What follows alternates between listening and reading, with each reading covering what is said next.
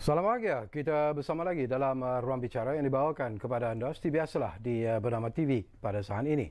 Dan uh, sekali lagi kita akan menumpukan perhatian kita kepada pilihan raya negeri uh, Sabah yang telah pun uh, selesai uh, dilaksanakan dan uh, tentulah perhatian rakyat Malaysia masih lagi uh, tertumpu di uh, sana kerana uh, banyak perkara sebenarnya yang masih boleh kita bincangkan uh, berkaitan dengan pilihan negeri uh, pilihan raya negeri uh, Sabah ini. Baik, topik yang uh, kita pilih hari ini ialah kerajaan baharu negeri Sabah 2020.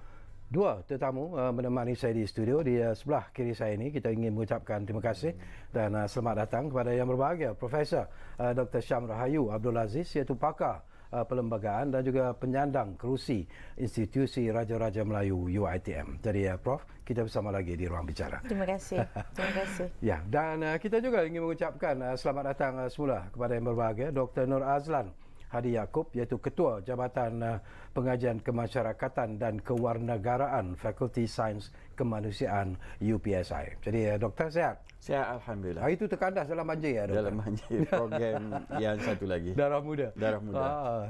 Dan uh, kepada anda yang sedang uh, bersama kami uh, ketika ini, kami uh, juga sebenarnya uh, juga akan apa ni menembual seorang lagi uh, tetamu melalui uh, talian iaitu yang berbahagia Datuk Hamdan Adenan yang uh, merupakan mantan profesor Universiti Malaysia Sabah. Dan beliau juga merupakan seorang pemerhati politik yang uh, memangnya tidak asing lagi. Baiklah dan uh, seperti biasa juga lah kepada anda yang mungkin ingin uh, berkongsi pandangan dan juga pendapat uh, berkaitan dengan isu ini. Jangan lupa dua talian seperti biasa uh, kami sediakan kepada anda di 03 2697 uh, 9767 dan juga 03 2697 9768 dan seperti biasalah anda juga sebenarnya boleh uh, mengikuti kami secara live di FB dan juga di YouTube bernama TV. Baik, mungkin uh, sesuatu yang um, melegakan uh, rakyat Sabah sekarang inilah apa ni uh, Profesor Dr. Syam ya. Uh, pelantikan uh, apa ni uh, ketua menteri sudah pun disempurnakan dan uh, pelantikan timbalan uh, timbalan ketua menteri juga uh, telah pun uh, diketahui oleh apa ni bukan saja rakyat Sabah tetapi seluruh uh, rakyat Malaysia yang sedang mengikuti uh, perkembangan uh, pilihan raya negeri Sabah baru-baru ini dan uh, tentunya kita ambil juga kesempatan ini untuk mengucapkan uh, setinggi-tinggi tahniah uh, kepada Yang Amat Berhormat Datuk Seri Haji Jino yang telah pun dilantik sebagai ketua menteri Sabah. Yang uh, menariknya mungkin apa ni buat permulaan ini um, uh, Dr Syam ya Prof Syam ya uh, apakah segala apa yang berlaku terutamanya mengikut apa ni uh, berkaitan dengan pelantikan uh, ketua menteri timbalan ketua menteri dan uh, sebagainya betul-betul mengikuti segala apa ni uh, perlembagaan uh, dan juga undang-undang yang sedia ada. Okey baik. Assalamualaikum warahmatullahi wabarakatuh. Terima kasih Kawin dan terima kasih untuk uh, bernama TV ya. uh, mengundang saya. Uh, ya, saya fikir sejak dari awal lagi sebenarnya hmm. pilihan raya negeri Sabah bermula daripada pembubaran yeah. uh, Dewan Undangan Negeri atau Majlis Negeri itu juga telah men- menimbulkan uh, cakap-cakap yang hmm. banyak Betul. dan bahkan terhas uh, apa ada satu kes yang difailkan hmm. di di mahkamah tentang pembubaran dewan itu juga ya. Hmm. Jadi uh, selepas pilihan raya ni setelah berlakunya pilihan raya sudah tentu pemerhati politik lah sepenuhnya ya yang saya ni saya memerhati tentang adakah ia menepati yeah. peruntukan perlembagaan. Hmm. Um, pada mulanya nampaknya adalah uh, beberapa pandangan dibuat tentang pelantikan Uh, ketua menteri ini uh, apabila melibatkan peruntukan dalam perkara 6 pasal 3 dan juga per, dibaca bersama dengan peruntukan 6 pasal 7 hmm. perlembagaan negeri negeri Sabah ini. Okay. Jadi di situ uh, banyaklah cara orang membaca perlembagaan hmm. itu ya. Tapi yang paling penting ni pada permulaan ini kita kongsi bahawa uh, orang yang dilantik sebagai ketua menteri itu adalah orang yang Uh, difikirkan uh, mungkin akan mendapat kepercayaan majoriti mm-hmm. dan ini adalah keputusan yang dibuat uh, secara budi bicara mm-hmm. yang ada pada uh, ketua uh, yang dipertua negeri yeah. atau TYT, TYT. ya tuan yang terutama dan sekiranya berlaku Uh, majoriti yang senang untuk ditentukan maka hmm. ini bukanlah satu perkara yang hmm. sukar sebab perlembagaan hmm. um, sama ada negeri Sabah atau negeri-negeri lain juga ia jelas apa kan orang yang mempunyai kepercayaan majoriti itu biasanya orang yang mempunyai kerusi yang lebih banyak hmm. tapi kekeliruan atau perbincangan yang lebih panjang di negeri Sabah ini kerana um, bila dikatakan tidak ada apa penyatuan parti-parti politik itu secara legal. Hmm. Dan dia persoalannya adakah uh, orang yang akan dilantik itu uh, mewakili kerusi yang banyak atau hmm. kepercayaan ah. yang banyak. Hmm. Jadi untuk awal ni kita saya perlu tegaskan lah bahawa kita sekarang dah belajar bahawa ia bukannya kerusi parti-parti politik hmm. tapi ialah kepercayaan ahli-ahli dewan hmm. terhadap seseorang yang mempunyai kepercayaan terhadap seseorang itu yang dikatakan punya kepercayaan itu. Hmm. Kadang-kadang kita tak boleh bilang kerusi. Ya. Jadi hmm. perlembagaan juga menggunakan istilah kepercayaan majoriti ahli dewan. Dia hmm. tidak menggunakan istilah kerusi yang terbanyak. Kecuali negeri Sabah itulah 6, 6 fasal 7 tadi. Ya. Uh, dia agak berbeza dengan negeri-negeri lain. Hmm. Uh, yang mana dinyatakan bahawa bagi tujuan untuk menentukan seorang itu mempunyai kepercayaan majoriti hmm. dalam fasal 3 hendaklah dilihat sekiranya ada parti yang memenangi jumlah majority from the elected seats. Maknanya hmm. jumlah majority of the elected seats tu maknanya 73 yang ya. maksimumnya. Yeah. Uh, maka pada saya saya tafsirkan sebagai majority daripada 73. Hmm. Jadi kalau itu kalau dalam konteks keputusan uh, keputusan pilihan raya itu macam tak ada parti yang hmm. dapat majority satu parti itu. Hmm. Jadi inilah yang menimbulkan mungkin uh, sikap berhati-hati TYT itu penting hmm. untuk hmm. melihat siapa yang mempunyai kepercayaan majoriti itu. Hmm. Sesuatu yang hmm. uh, menarik juga nak kongsi bersama dengan uh, Dr. Noor Azlan. Bukan lagi uh, rahsia sebenarnya apa ni uh, doktor ya. Sebelum uh, pelantikan apa ni uh, ketua menteri Sabah yang baru ini hmm. uh, timbul pelbagai uh, ni mainan-mainan uh, politik di luar sana hmm. uh, ada parti-parti yang mengatakan secara tegas bahawa mereka uh, ingin uh, meletakkan calon mereka ataupun uh, orang mereka untuk menjadi uh, ketua menteri uh, kerana mereka memenangi kerusi secara majoriti uh, dan apabila uh, pengumuman dibuat uh, lebih awal lagi uh, oleh Yang Amat Perdana Menteri ketika berkempen uh, di uh, Sabah uh, dia secara jelas menyatakan bahawa sekiranya hmm. apa ni gagasan apa ni uh, rakyat Sabah ini menang dalam pilihan raya ini maka Datuk Seri Haji Jinong akan dilantik uh, sebagai uh, Perdana Menteri. Jadi akhirnya ianya menjadi uh, satu kenyataan. Tetapi apakah uh, pada pandangan doktor ia akan meredakan sedikit uh, mainan-mainan politik, gelombang-gelombang politik yang uh, sedang uh, benih, uh, berlaku di Sabah sekarang ini di kalangan parti-parti dalam GSR sendiri. Terima kasih Cik Syakrawi ya. Uh, saya hanya tengok uh, isu politik di Malaysia dalam konteks uh, literasi kenegaraan. Hmm. Bagaimana masyarakat awam harus disedarkan apa isu-isu kenegaraan termasuk politik hmm. hanya sekadar itu saja. Yeah. Jadi saya tidaklah tengok dari sudut kepartian. Baik, uh, kalau kita tengok politik Sabah bermula 1963 pembentukan Malaysia, mereka hmm. sudah ada 16 orang ketua menteri. Hmm. Ada yang cuma satu tahun, hmm. ada yang dua tahun. Yang paling lama itulah Tan Sri Musa hmm. tahun 2003 hingga 2018 yang agak lama sedikit Pairing Katinggan hmm. uh, 1985 hingga saya lupa dan sebelum pada itu uh, Datuk Hari Saleh hmm. 1976 1985 hmm. yang lain tu cuma satu tahun Tuan Puan Stephen hmm. uh, pengasas uh, bermula 1963 cuma satu tahun cuma hmm. dia ada dia dia dua kali jadi ketua menteri hmm. Datuk Cakaran Dandas uh, Tun sesudah itu cuma hmm. satu tahun so kalau kita tengok dalam politik Sabah benda perkara itu adalah perkara biasa itu hmm. yang pertama eh yeah. Uh, kerana dia corak sistem politiknya agak berbeza dengan Semenanjung. Hmm. Uh, kalau saya guna istilah uh, mereka lebih mirip pada negara jiran kita Indonesia, hmm. sistem hmm. budaya, cara tukar parti dan sebagainya. Itu yang pertama eh. Yang kedua uh, dari sudut uh, majoriti hmm. tidak pernah ada dalam politik Sabah majoriti itu banyak hanya kecuali selepas tahun 2003 bahkan dalam pilihan raya yang lalu hmm. Itu majoriti juga hampir sama 29 29 dan hmm. sebab itu pada waktu itu uh, Tan Sri Musa Aman telah mengangkat sumpah hmm. tapi dua hari kemudian ah. uh, ada dua wakil daripada UPKO itu lompat ya. dan seterusnya ada wakil daripada UMNO itu hmm. sistem politik mereka dan kita kena terima dan cuma bertahan dua tahun hmm. Uh, satu lagi uh, Prof dan uh, Cik Syakawi eh. Yeah. Dari sudut sejarah uh, 1980-an tahun 85 86 itu konflik politik Sabah yang paling serius hmm. sehingga hmm. ada yang korban, ada kena bom. Hmm. So maksudnya dalam politik Sabah itu perkara biasa. Apakah ini untuk meredakan keadaan? Saya fikir dalam suasana Covid, hmm. dalam suasana satu perkara yang sangat penting, hmm. kadar keluar mengundi bawah 70%, yeah itu satu hmm. perkara yang serius untuk kita fikirkan hmm. kerana sepatutnya 75 78 itu normal dalam hmm. masyarakat kita ataupun 80 itu tinggi hmm. tapi kalau bawah itu ada sesuatu yang tidak kena maksudnya kita tidak pernah buat kajian lagi tapi indikatornya masyarakat agak kurang senang dengan apa yang berlaku. Adakah ini dapat meredakan keadaan? Saya fikir ya. Hmm. Dalam waktu sekarang kerana hmm saya fikir kalau kita turun ke lapangan kita tanya hmm. uh, politik kepatian itu satu tapi isu besar orang bercakap adalah peluang pekerjaan hmm, ya. uh, ke dalam konteks Sabah hmm. uh, mereka inginkan hmm. sistem kesihatan yang lebih baik hmm.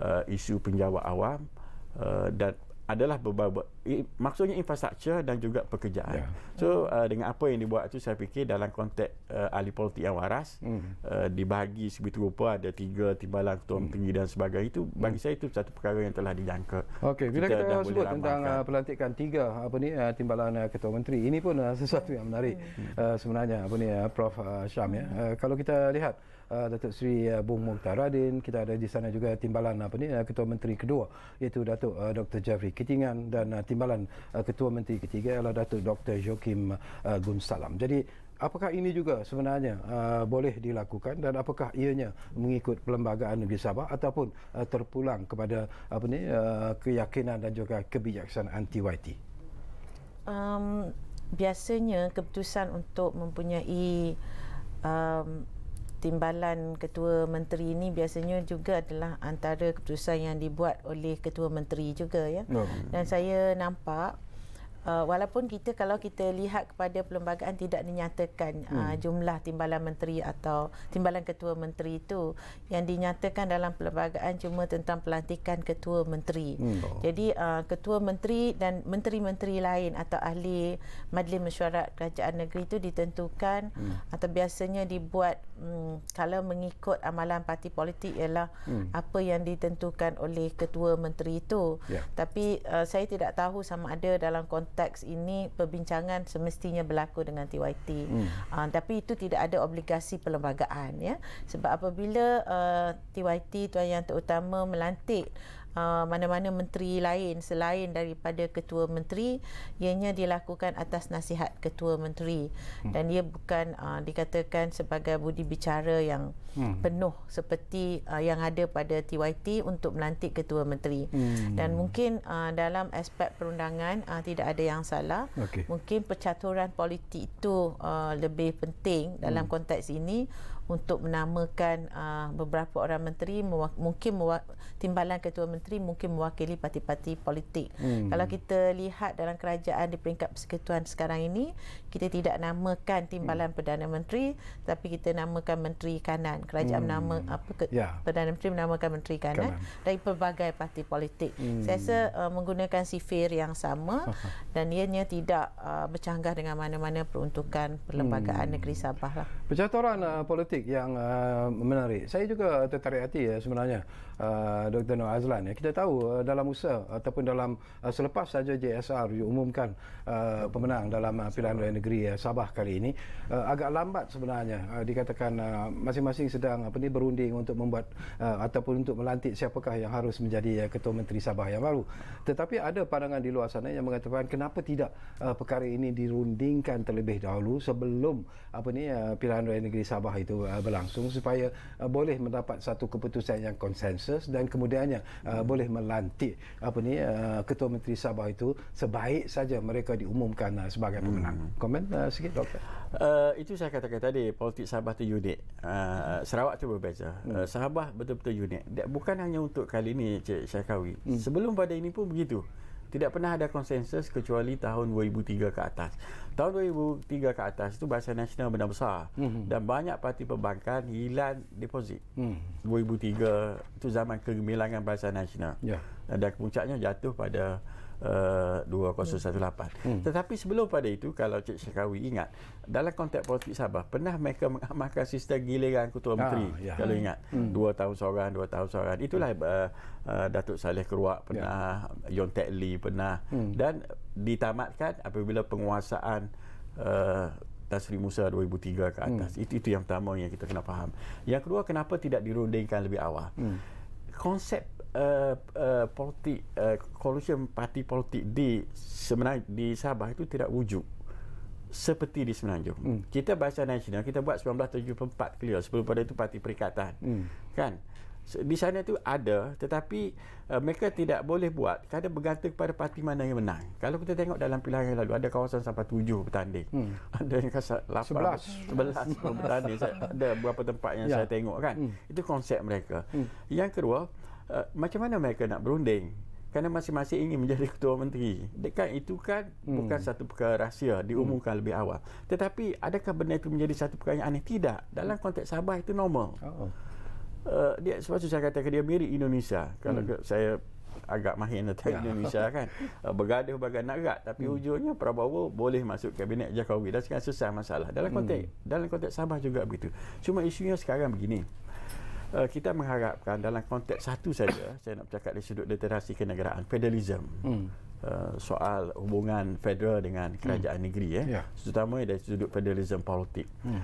uh, sudah sampai saatnya kerajaan Sabah uh, terutamanya harus memahami konsep federalism baik kerajaan dulu ataupun kerajaan sekarang begitu juga kerajaan persekutuan kerana saya perhatikan yang menjadi isu pokok tema kempen adalah federalism, federalism. cuma dijelmakan dalam perkataan orang Melaya bukan Melaya Sabah hmm. apa Sabah ini hmm. bukan konsep baru konsep itu pertama dibuat waktu zaman Perry ketinggalan 1985 hmm. hmm. Sabah apa Sabah itu hmm. dan mereka bertemu dengan Tun Datu Mustafa sekarang konsep tak jadi masalah hmm. tapi isu yang pokok Malaysia baru ditubuhkan 1963 hmm. 57 tahun negara yang besar Soviet Union satu tahun dah runtuh 1990 hmm. so saya fikir apa pun orang politik nak buat? Tapi kita sebagai masyarakat awam NGO civil society harus tengok Malaysia itu harus ditengok secara keseluruhannya. Ya. saya tengok dari sudut itu.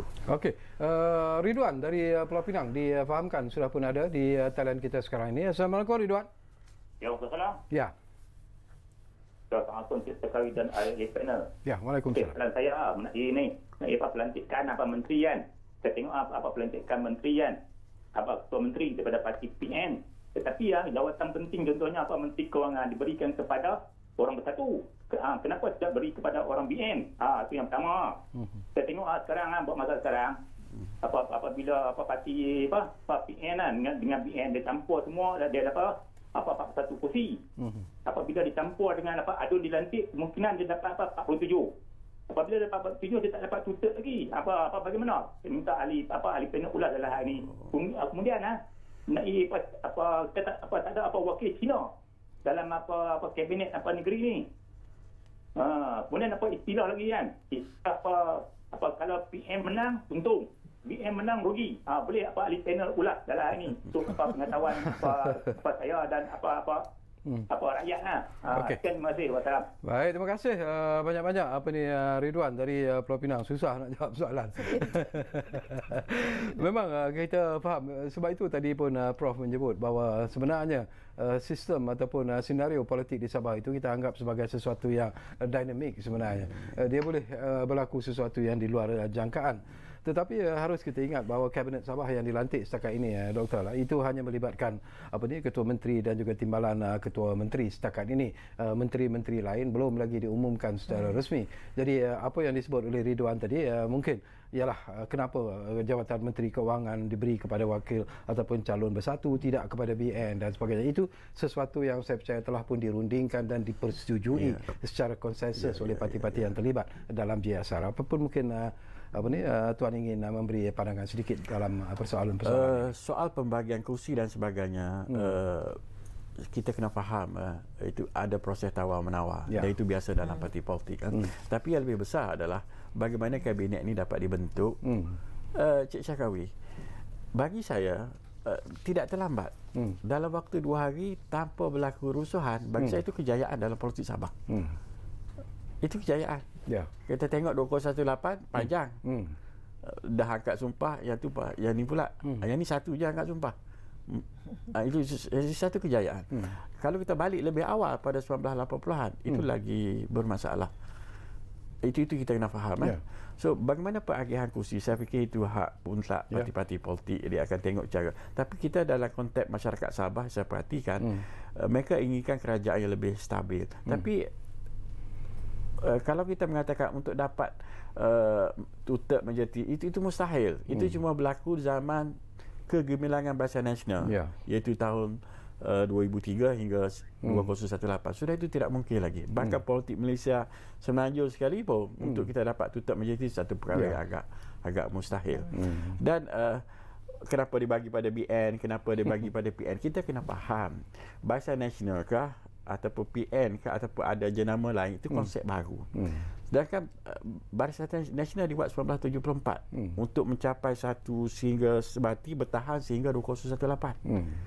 Ini konsep baru dan memerlukan masa. Hmm. Sama juga kerajaan lalu Pak Kata Harapan. Hmm. Uh, cuma dua tahun kerana hmm. konsep itu tak dapat di, di, di, di, dijelmakan yang lebih baik. Hmm. Jadi Barisan Nasional, Perikatan Nasional dia masih konsep baru dan kita yakin hmm. uh, saya tidak pasti kalau politik itu stabil dia hmm. akan uh, dapat disatukan dengan cara yang yang lebih baik daripada sekarang dan hmm. kena faham kita tak boleh tengok Sabah kita kena tengok juga Kuala Lumpur Putrajaya dia akan berkait kalau stabil di Kuala Lumpur insyaallah di Sabah juga akan stabil okey kita akan uh, sambung lagi tapi uh, kita akan uh, berehat dulu uh, buat uh, seketika dan uh, kepada anda jangan lupa dua talian itu uh, masih lagi kami buka kepada anda untuk membolehkan anda uh, barangkali ingin berkongsi pandangan ataupun uh, pendapat dan apa saja bersama dengan uh, kedua-dua tetamu saya ini jadi saya ulangi sekali lagi nombor itu ialah 03 2697 9767 dan juga 0326 97 9768. Kita rehat buat seketika.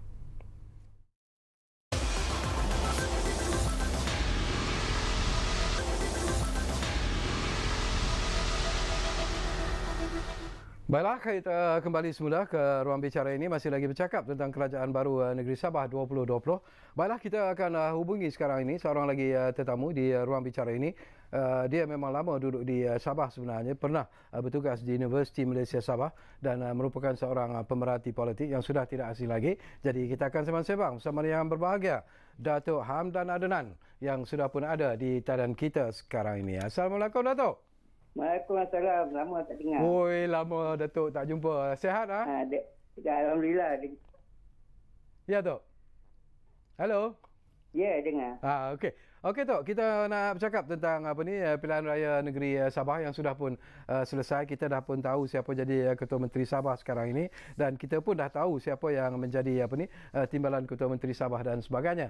Tetapi uh, sebagai apa ni uh, mereka yang tinggal di Sabah ini, mungkin Datuk sendiri uh, telah pun melihat uh, tentang perjalanan uh, pilihan raya kali ini tu. Apakah ianya berjalan dengan begitu baik sekali? Tidak ada insiden-insiden tidak ingin berlaku dan uh, sebagainya. Komen sikit Datuk. Ya, uh, saya rasa terbaik kerana uh, isteri saya dan anak saya ha. pun uh, pergi uh, memilih ha. dan uh, dia kata semuanya uh, baik ha. dan semua jalan beratur, ha. semua ikut SOP ha. dan uh, beberapa tempat yang uh, saya yang saya sebut tu di dulu lah uh, di, di daerah Kuala atau juga di daerah yang Ketua Menteri kita sekarang ha. dan uh, tidak ada gangguan hmm. uh, walaupun dalam uh, uh, YouTube, internet adalah uh, hmm. yang nak cuba timbul uh, masalah tapi hmm. di apa orang kata di medannya di tempat yang sebenarnya ya. berjalan lancar. Kita harus bangga hmm. kerana walaupun nampak begitu hangat ya. tapi apabila datang masa mengundi semuanya cool, semuanya hmm. begitu tenang ya. dan buat pemilihan yang hmm. mereka rasa hmm. yang wajar dipilih oleh uh, setiap individu yang pergi mengundi. Okey, alhamdulillah. Uh, nak dapat uh, pandangan Datuk jugalah secara peribadi ya Datuk ya. Uh, mengenai uh, pelantikan uh, yang amat berhormat Datuk uh, Haji Jino sebagai Ketua Menteri dan juga apa ni uh, pelantikan Datuk Seri uh, Bung Mukhtaradin sebagai timbalan Ketua Menteri uh, satu. Jadi apakah Datuk melihat ini uh, satu uh, pelantikan yang tepat dan uh, memenuhi uh, kehendak dan juga apa ni uh, apa yang diinginkan sebenarnya oleh parti-parti gabungan yang berada dalam uh, GSR?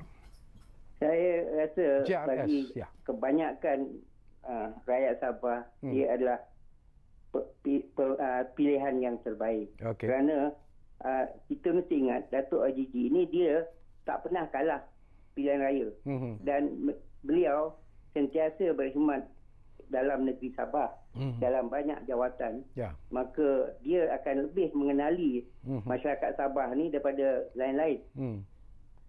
ha, uh, jawatannya yang terakhir adalah uh, timbalan Perdana Menteri dan juga belum itu sebagai Menteri uh, Perumahan dan Kerajaan Tempatan. Ya. Uh, saya rasa tidak ada yang lebih baik uh, dari segi pengalaman hmm. uh, di Sabah. Okey, uh, ya. Beliau sungguh tahu apa kehendak uh, rakyat Sabah. Hmm. Okey, sesuatu yang uh, juga diperkatakan secara meluas uh, Datuk di uh, Sabah. Kita tahu uh, selalu kita bangkitkan tentang apa ni uh, dinamism uh, politik di uh, Sabah itu. Uh, selalu pula orang akan bangkitkan apakah akan berlaku pula uh, isu melompat parti yang dikatakan seolah-olah dah jadi semacam budaya uh, dalam politik Sabah ini tu. Saya rasa kali ini dia mantap uh, ya. kerana yang menang pun uh, selaras dengan persekutuan. Hmm. Maka rakyat Sabah kini begitu dahagakan pembangunan dan kemajuan. Ya. Mereka tahu hmm. kalau politik tak stabil di Sabah, ya. sukar untuk Sabah untuk maju ke depan berbanding hmm. dengan negeri lain di Malaysia. Oleh yeah. itu rakyat Sabah sungguh uh, berharap bahawa kerajaan baru ini mampu menunaikan janji-janji mm-hmm. serta lebih prihatin dengan uh, rakyat dan saya rasa tidak ada orang yang lebih memahami uh, keperluan kehendak masyarakat penduduk di Sabah ni daripada Ketua hmm. Menteri yang baru dilantik. Okey, akhir sekali harapan uh, Datuk lah. Ini uh, berarti bahawa uh, kerajaan uh, baru uh, Sabah uh, sekarang ini uh, sudah pun uh, boleh dikatakan mempunyai uh, hubungan yang uh, begitu uh, rapat sekarang ini dia sudah pun menjadi sebahagian daripada kerajaan persekutuan uh, selari dan senada. Jadi apakah uh, Datuk boleh melihat bahawa uh, apa yang diinginkan oleh rakyat Sabah dari segi pembangunan, dari segi ekonomi dan sebagainya mungkin akan berada pada tahap yang akan memuaskan hati semua rakyat Sabah nanti. Itulah yang kita doakan kerana sejak Sabah uh, membentuk Malaysia bersama negeri lain yang tidak ada di, di Malaysia sekarang. Ya. Uh, kali ini mereka akan dapat apa yang mereka mahukan. Hmm. Baik, terima kasih uh, banyak-banyak kepada yang berbahagia Datuk Hamdan Adnan iaitu mantan uh, profesor Universiti Malaysia Sabah dan juga seorang pemerhati politik. Dan insyaallah tu ya uh, kalau ada masa nanti terbang-terbanglah dari Sabah. Dan uh, barangkali kita boleh duduk bersama uh, di uh, ruang bicara ini. Tetapi jangan terbang sekarang tu. Nanti kena kuarantin pula.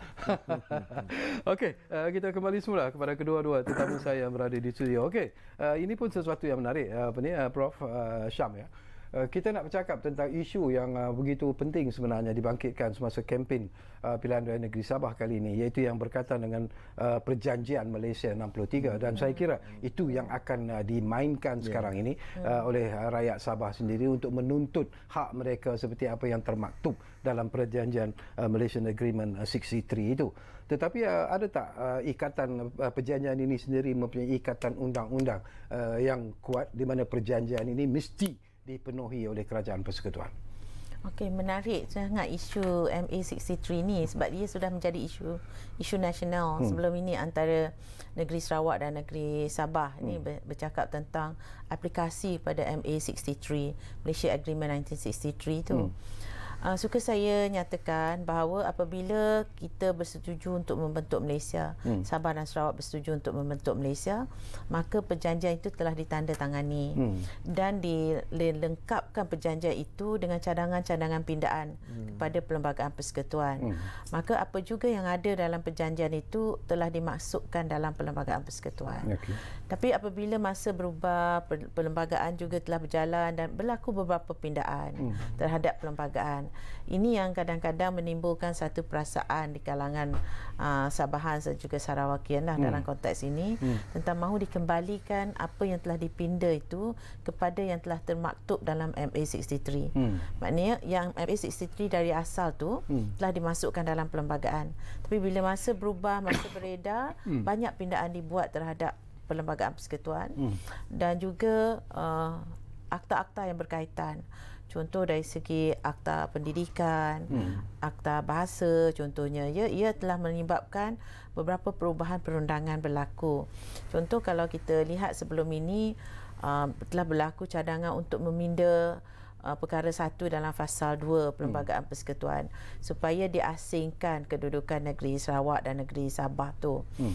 Jadi di sini saya fikir dalam konteks uh, kepentingan negeri uh, seperti juga dalam konteks hubungan antara persekutuan dengan negeri hmm. maka apa maka apa yang diperlu kita lakukan pada pada ketika ini ialah untuk memerhati apakah uh, pindaan-pindaan yang dibuat oleh uh, dibuat kepada perlembagaan persekutuan yang memberi kesan kepada hak-hak negeri Sabah dan Sarawak. Hmm. Sebabnya sekiranya ini tidak dinilai dengan baik nanti ia akan berpanjangan isu MA63 ni. Hmm.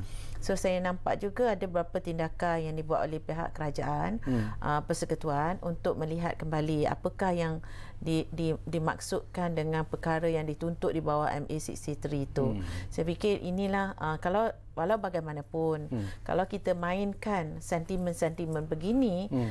ia mungkin akan mengeruhkan sedikit hubungan hmm. antara persekutuan dengan negeri-negeri ini. Sesuatu yang, yang menarik hmm. juga apa ni hmm. profesor ya, hmm. ya Prof Syam ya.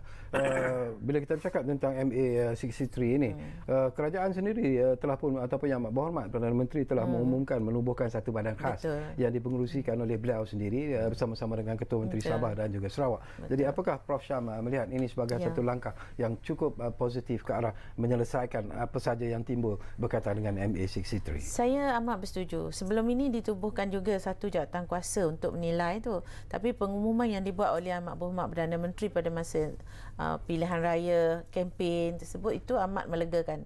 Saya sebagai pemerhati dalam perkembangan undang-undang dan hubungan antara persekutuan dengan negeri-negeri ini adalah sesuatu yang menarik. Hmm. Apabila uh, persekutuan mengambil perhatian serius uh, tentang isu yang dibawa ini bukan uh, saya fikir itu bukan sahaja pendekatan politik yeah. tetapi ia sebenarnya menjadikan um, menjadikan ketegangan kalaunya ada hmm. Hmm. untuk dia boleh diselesaikan dengan baik hmm. dengan rundingan dan sebagainya. Hmm. Satu lagi uh, saya gembira juga apabila kerajaan telah membuat satu uh, jawatan khusus hmm. untuk hubungan antara persekutuan dengan negeri-negeri Sabah dan Sarawak. Dalam konteks ini hmm. apa yang doktor sebut tadi tentang uh, hubungan uh, federalisme itu hmm. saya fikir dalam konteks uh, sebab hubungan federalisme ni ia bukan semata-mata hubungan perundangan hmm. ia adalah hubungan politik yang hmm. baik antara persekutuan dengan hmm. negeri dan hmm. ini perlu dijaga dan saya fikir saya amat bersetuju hmm. uh, ditubuhkan satu jawatan kuasa hmm. dan harapan saya supaya jawatan kuasa ini melaksanakan tugas-tugas dengan cemerlang. Okey, saya difahamkan kita ada dua pemanggil uh, di talian kita sekarang ini. Yang pertama kita ambil dulu uh, Encik Muhammad Noh. Uh, tak, tak dapat nama penuh tapi Encik Muhammad uh, adakah dari uh, Sabah? Assalamualaikum Encik Muhammad. Ya, Waalaikumsalam warahmatullahi. Ya. Uh, saya Muhammad Noh Yazid kan dari Kota Kinabalu. Ah, ya, silakan Encik Muhammad Noh. Ah, ya. Uh, Prof Tan dan Pak saya Noh Adlan. Ya. Saya ada dua soalan dan okay. soalan lakukan. Yang pertamanya, uh, saya tidak begitu jelas apa yang belum lagi dipenuhi hmm. uh, dalam perjanjian Malaysia 1963 MA 63 oh, itu okay. selalu dibangkitkan dalam pilihan yeah. raya, kempen pilihan raya tapi uh, dalam aspek mana iakah yang belum dipenuhi hmm. kerana pada pahaman saya yang 20 perkara itu yeah. saya rasa tidak ada yang melanggar hmm. sebab kadang-kadang ha, dia lupa bahawa kos perkhidmatan, kesihatan, pertahanan, pelajaran itu telah besar hmm. dilakukan. Tapi seolah-olah benda itu seolah-olah tidak dilihat dengan besar. Ah. Ya, dalam okay. masyarakat. Jadi mungkin Prof. Sam boleh menjelaskan pada saya okay. bagaimana MBS 93 itu belum lagi dipenuhi untuk okay. sama-sama kita fahami.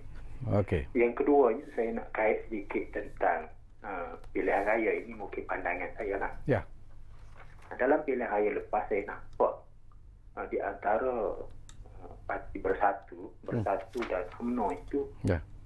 terdapat satu seolah-olah dua parti yang berbeza. Hmm. Ialah kalau kita lihat pun satu barisan nasional, yeah. di bawah satu perikatan nasional. Yeah. Yang di bawah bersatu dan beberapa komponen-komponen hmm. dan staf itu.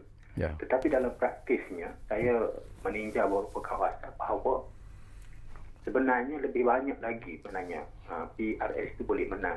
Hmm. Tapi apa yang nampak saya lihatnya ialah tidak ada kerjasama yang begitu rapat di antara UMNO hmm. dan Bersatu. Hmm. Di kawasan yang Bersatu bertanding, orang UMNO tidak membantu. Oh. Di kawasan UMNO bertanding, dikata mungkin kurang juga.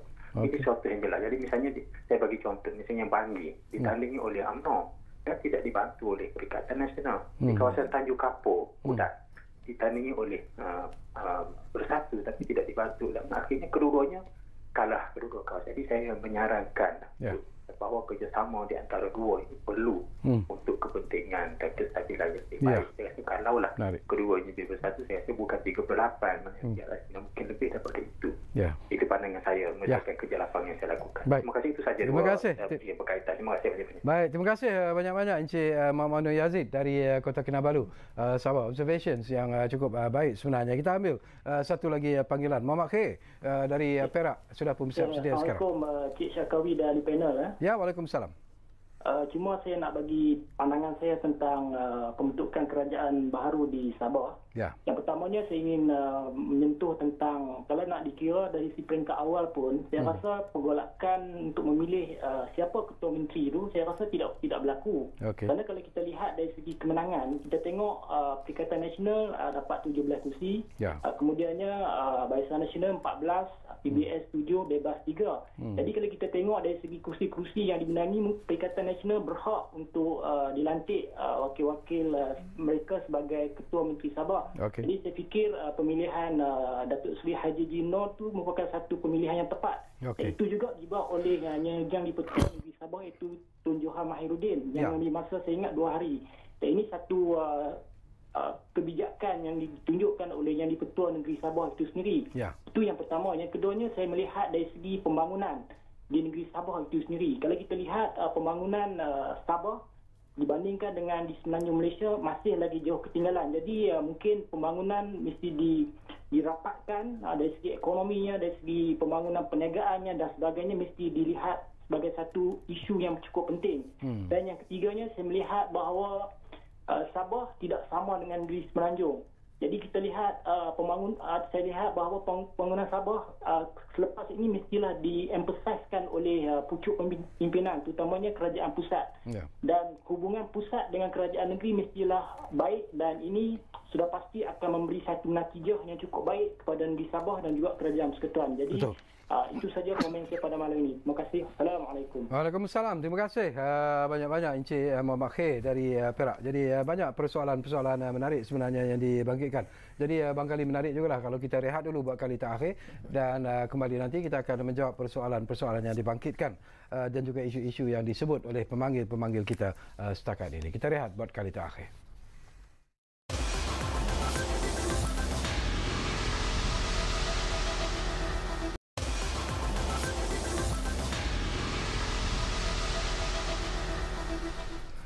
Baiklah, terima kasih uh, banyak-banyak kerana anda masih lagi bersama kami di ruang bicara ini masih lagi bercakap tentang kerajaan baru uh, negeri Sabah 2020. Banyak uh, apa ni respon dan juga reaksi yang cukup apa ni menarik daripada pemanggil pemanggil kita setakat ini. Mano Yazid dari Sabah dari KK tadi juga membangkitkan isu yang saya kira cukup penting sebenarnya iaitu beliau sendiri tidak jelas apa lagi yang belum uh, sebenarnya dipenuhi bila kita bercakap tentang MA uh, 63 dan beliau juga menyentuh bahawa soal uh, sesuatu yang harus diterima hakikat bahawa walaupun ada parti bersatu uh, dan AMNO pada satu bumbung yang dipanggil sebagai apa ni uh, gerakan uh, ataupun gabungan uh, rakyat Sabah tetapi kerjasama itu seolah-olah uh, masih lagi tidak uh, sepakat dan sekata tapi apapun uh, mungkin hmm. apa ni uh, prof boleh komen dulu okey terima kasih uh, dari soalan uh, Profesor Muhammad Noor oh, tadi ya okay. um, Ya, kalau kita lihat dari segi memenuhi uh, perjanjian 1963 tu, hmm. pertama saya nak cerita sikitlah tentang federal state relationship lah kan federalisme ni.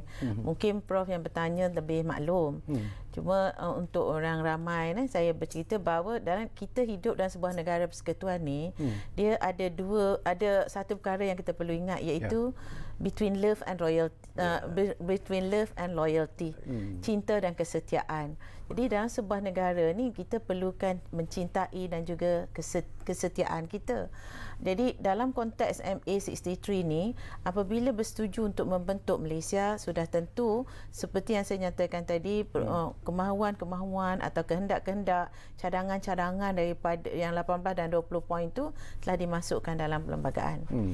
Jadi hakikatnya lah setelah kita 57 tahun membentuk sebuah negara persekutuan namanya Malaysia ini hmm. berlakulah pindaan kepada perlembagaan.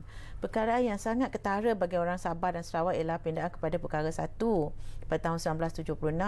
Perkara satu itu telah mengas, telah menggabungkan perenggan-perenggan yang khas untuk Sabah, perenggan untuk Sarawak digabungkan negeri ke dalam negeri-negeri di Semenanjung oh, Tanah Melayu. Okay. Jadi berlaku pindahan begitu. Begitu juga dan uh, tentang uh, isu-isu yang sensitif seperti royalty hmm. Uh, hmm. dari untuk pendapatan minyak dan sebagainya sudah menjadi satu perkara yang dibincangkan dan digemburkan hmm. yang kemudiannya dijadikan permasalahan politik ataupun hujah-hujah politik di sini uh, inilah yang antara perkara satu lagi mungkin dari segi bahasa. Hmm. Uh, di Sabah dan Sarawak kita mempunyai dua bahasa hmm. dan kenapa tidak boleh menerima bahasa Melayu sebagai bahasa kebangsaan. Hmm. Jadi orang Sabah dan Sarawak mahu kita faham bahawa mereka mempunyai kelebihan yang diberikan dalam dalam perlembagaan persekutuan.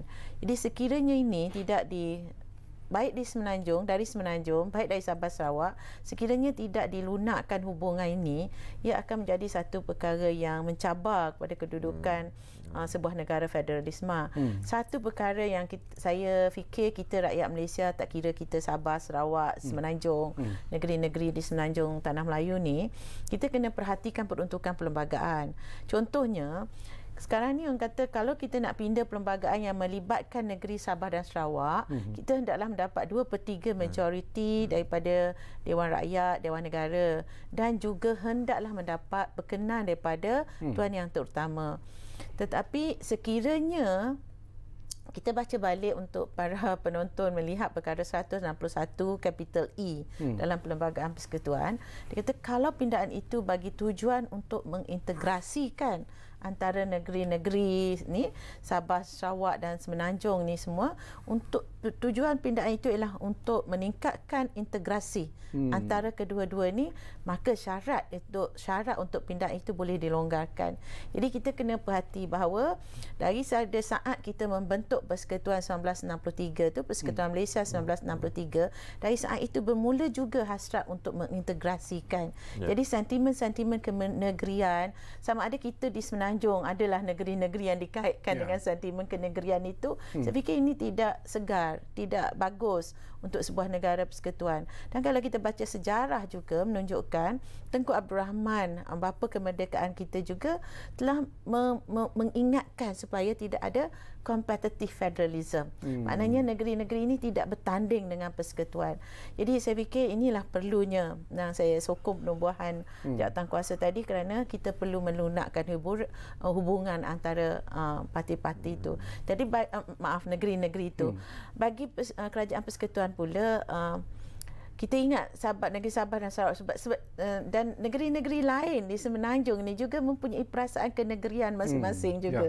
Ya, Jadi inilah yang kita merendahkan suhu kenegerian itu kerana kita setia kepada persekutuan. Itu yang saya balik kepada between love and loyalty, hmm. cinta dan kesetiaan hmm. itu kepada negeri dan juga cinta dan kesetiaan itu kepada persekutuan. Okey, uh, saya nak tanya very direct question uh, kepada apa ni uh, Dr. Anwar Azlan.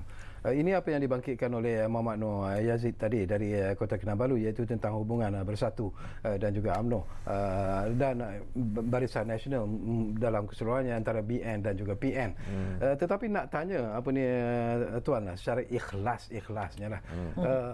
Apakah sebenarnya UMNO dan Barisan Nasional ikhlas berjuang bersama-sama PN?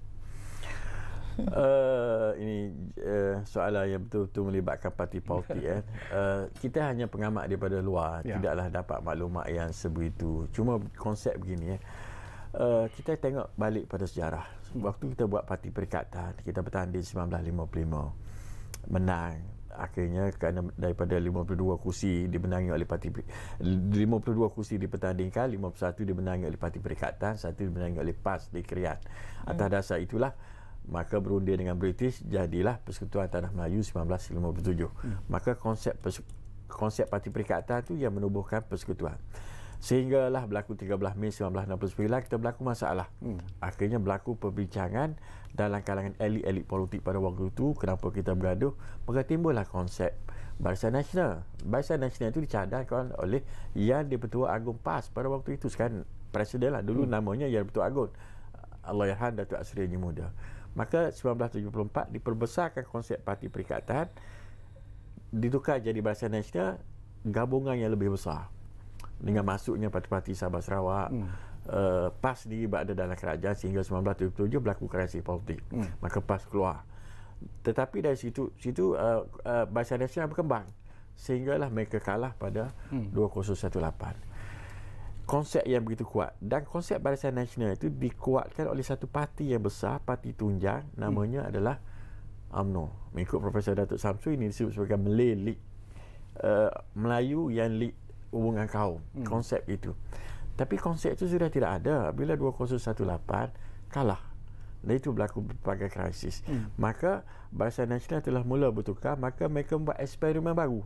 Maka ditubuhlah uh, Mafakat Nasional Lepas tu bertukar uh, Perikatan Nasional itu masih Sebab itu saya katakan Ini konsep baru hmm. Memerlukan masa yang cukup panjang Maka berkelahilah hmm. Parti A ni Parti A ni Itu itu biasa hmm. Tapi uh, secara akademik kita bercakap politik kita harus ada data. Hmm. Dalam zaman sekarang big data itu penting, bukan lagi teoretikal dalam ini ya. Hmm. Dia bergantung kepada federal government dalam politik Sabah dia hmm. betul-betul bergantung pada kerajaan persekutuan. Kalau kerajaan persekutuan begini, dia hmm. akan jadi begini. Hanya satu kali saja waktu uh, Joseph Pari ketinggalan, hmm. dia keluar melalui PBS, hmm. dia menjadi opposition sekejap. Hmm. Sebab tu tak boleh digantikan dengan satu parti lain. Dalam konteks Sabah, dia akan stabil hmm. bergantung kepada sejauh mana kestabilan politik kerajaan hmm. persekutuan kita sebagai rakyat terbanyak kita hmm. ingin kestabilan politik ya, kalau kita mudahlah kalau boleh bagi saya bukan hanya setakat bergabung dua parti itu bergabung semua parti seperti selepas 13 Mei apa yang kita tidak ada yang tak boleh menjadi perpaduan kita tidak ada Allah Yerhan Tu Abdul Razak hmm. watak yang sebegitu dalam hari ini kalau kita ada watak itu saya yakin bagi saya bukan hanya dua parti itu parti lain pun bergaduh buat apa hmm. kan tidak ada itu itu konsep itu yang, yang satu lagi saya nak komen Uh, sebenarnya uh, rakan kita ni uh, ahli akademik terkenal daripada UMS yang tanya hmm. tadi ya.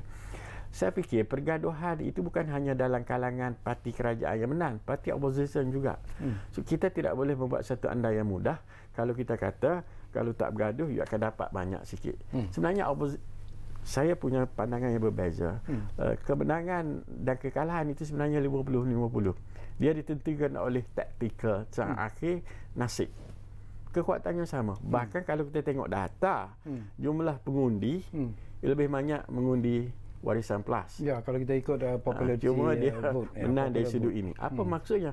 Maksudnya masih belum stabil. Hmm. Dan pembentukan kerajaan Sabah kebijaksanaan Perdana Menteri kan, dan rakan-rakan di Sabah melantik seorang peda, uh, ketua menteri. Kita kena ingat ketua menteri hmm. sekarang politik yang lama. Dia hmm. bermula zaman kemasukan UMNO kerana beliau pernah menjadi seksa politik pada Allahyarham Timbalan Perdana Menteri Tun Gafar Babur. Yeah. So kita harap dengan pelantikan itu hmm. uh, dua parti itu satu hal. Hmm. Politik Sabah itu stabil. Okey, menarik. Dan uh, menjawab persoalan yang dibangkitkan oleh Muhammad K itu uh, memanglah kita juga mengharapkan benda yang sama sebenarnya akan ada uh, satu kerjasama yang erat antara Sabah uh, dan uh, juga apa ni kerajaan uh, pusat dan uh, sudah tentulah uh, apa ni uh, PN juga ataupun kerajaan pusat juga akan cuba memenuhi uh, manifesto yang telah pun diwar-warkan semasa kempen uh, pilihan raya negeri Sabah iaitu uh, aku janji uh, Sabah uh, sayangi Sabah dan saya percaya hmm. uh, Amir Ahmad Berhormat uh, Perdana Menteri melihat itu uh, secara serius. Baik kita tinggalkan dulu apa ni isu uh, apa yang berlaku di Sabah. Saya kebetulan pula kita ada apa ni uh, Profesor Dr Syam Rahayu bersama dengan kita. Ini uh, tentang uh, kes uh, apa yang dikeluarkan uh, ataupun dinyatakan oleh Syam Rahayu apabila kes yang melibatkan Datuk Seri Anwar Ibrahim yang apa ni ingin menghadap uh, apa ni uh, ke bawah yang Maha Mulia Seri Paduka Baginda yang Pertuan Agong uh-huh. kerana beliau menyatakan bahawa beliau mempunyai majoriti dan ingin membentuk satu kerajaan baru tetapi uh, Syam kata tak boleh. Yang boleh menjumpa uh, perdana apa ni uh, uh, agung hanyalah PM yang layak menghadap agung. Uh, dan kemudiannya apa ni uh, tokoh Aziz Bari uh, menyatakan bahawa Syam Rahayu keliru Uh, tentang apa ni uh, apa yang disebut itu. Apa yang sebenarnya Syam? Kita juga okay. nak dapat uh, some clearance. Okey uh, respon saya kepada laporan uh, pada soalan daripada pemberita lah hmm. uh, sebenarnya asalnya daripada sinar harian. Hmm uh, bertanya uh, siapakah yang boleh menentukan adanya hmm. hilangnya kepercayaan majoriti. Hmm. Jadi saya respon itu merujuk kepada perkara 43 dalam fasal 4 hmm. Perlembagaan Persekutuan yang menyatakan bahawa hanya Perdana Menteri yang telah hilang kepercayaan majoriti boleh menghadap Yang di-Pertuan Agong okay. bagi uh, menyatakan bahawa beliau telah hilang kepercayaan majoriti. Okay. Dan sekiranya beliau enggan meletakkan jawatan meletakkan jawatan maka beliau boleh juga meminta yang di Pertuan Agong untuk membubarkan dewan. Jadi hmm. storynya ialah tentang perkara 43 dalam fasa 4 hmm. yang tidak menyatakan tentang uh, orang lain kecuali hmm. uh, Perdana Menteri yang merasakan dirinya telah hilang kepercayaan hmm. majoriti. Tapi dalam konteks ini saya tidak menafikan semua orang boleh jumpa yang di-Pertuan Agong atau perkenan baginda. Hmm. Dan kalaupun baginda bersetuju atau perkenan untuk uh, berjumpa ataupun uh, membenarkan mana-mana orang untuk berjumpa baginda hmm. Uh, untuk menyampaikan hasrat mereka menyatakan mereka mempunyai kepercayaan majoriti dan sebagainya hmm. itu juga adalah uh, atas budi bicara baginda tetapi untuk menentukan siapa yang sebenarnya uh, menentukan bila ada perdana menteri. Hmm. Jadi bila wujudnya uh, apa perdana menteri itu, jawatan perdana menteri itu tak kosong.